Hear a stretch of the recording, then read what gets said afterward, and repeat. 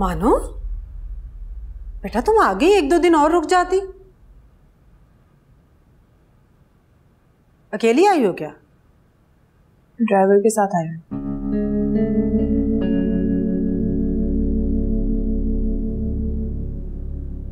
तुम रोई हो? कुछ पूछ रही हूँ जवाब दो। क्या बोलूँ मम्मी? किसी ने कुछ कहा है?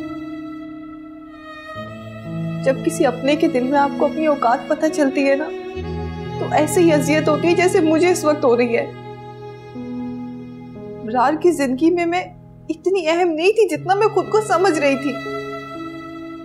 बहुत सारी खुश फहमियाँ दिल में पाल रखी थी। एक एक करके सारी गलत फहमियाँ दूर होते जा रही है वक्त के हाथों। फिर से लड़ बैठी अबरार से? अम्मी जब से निकाह हुआ है हम दोनों के बीच में तकरार ही तो हो रही है। प्यार तो जैसे खत्म हो गया हम दोनों के बीच।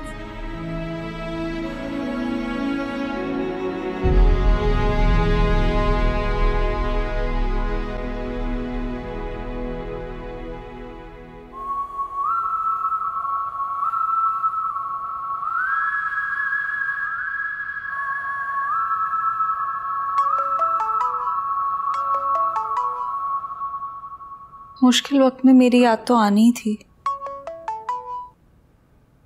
हेलो? महानूर को मैंने मामलात को सुधारने के लिए भेजा था। लेकिन मेरी बच्ची वहाँ से रोती भी आई है। और क्या करती वो अम्मी? यहाँ जिसको देखो उसे बातें सुना रहा था। और आपको पता है आंटी ने उसकी कितनी इंसल्ट की है? और रही सही कसर फिर अबरार ने पूरी कर दी। सफिया बहन को मानो पसंद नहीं है ये तो मुझे पता है। लेकिन अबरार और मानो में झगड़ा क्यों हुआ है ये तो बताओ। होना क्या था अम्मी? मानूर के मुँह से नेहा के खिलाफ दो लफ्ज क्या निकले? अबरार तो भड़क उठा। उसने इतना गुस्सा किया है। और मेरे रोकने पर वो मुझसे बदतमीजी कर रहा था। इतना रूड हो गया था वो। क्या बताऊँ मैं आपको? अल्लाह एक तो ये नेहा किसी बला की तरह मेरी बेटी की खुशियों से क्यों चिमट गई है? मुझे तो खुद समझ नहीं आ रहा है अम्मी।